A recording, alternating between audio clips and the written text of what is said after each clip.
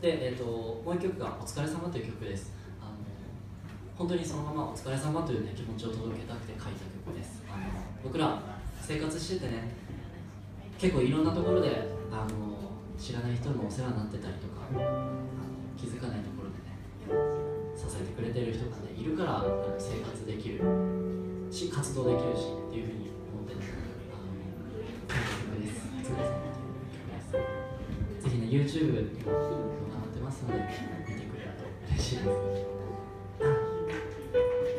これでね今日は最後なんですけれど次ねまだまだ素敵なアーティストさんがいらっしゃいますので、うん。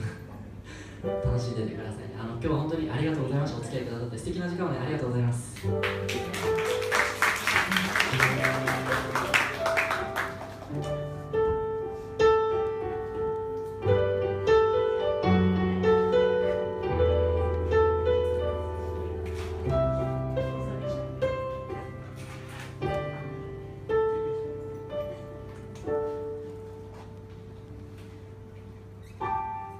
皆様今日も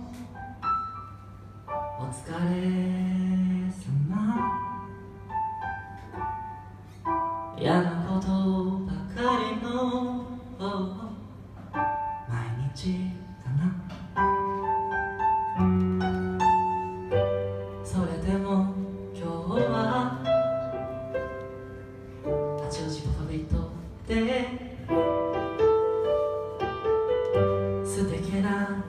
な時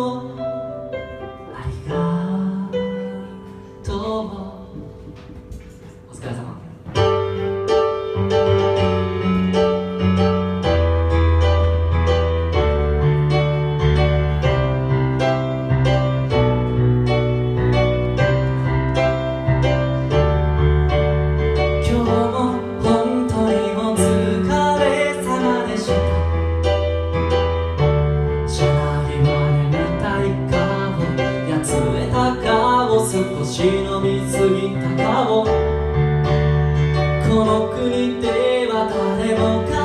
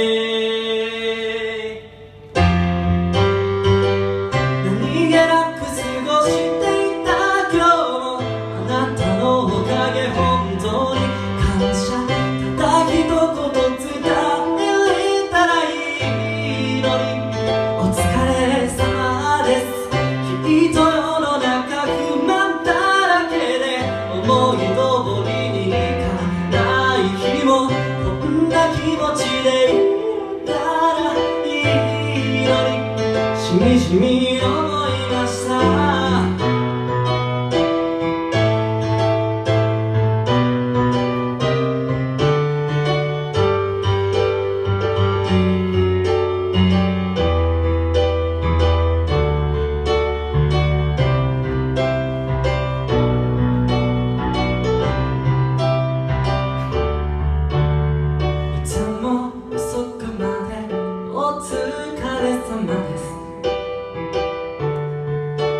定時は過ぎているのにまだお家には帰れない手帳を開いても休みは遠い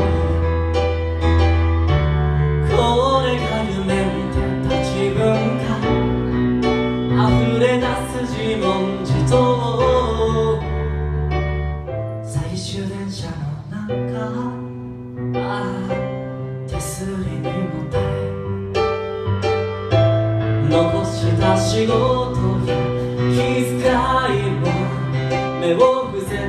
よなら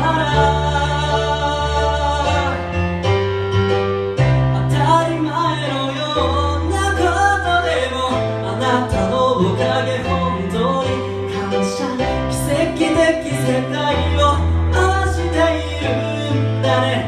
お疲れ様です。明日はさても歩むことなく戦いの日は消えなくとも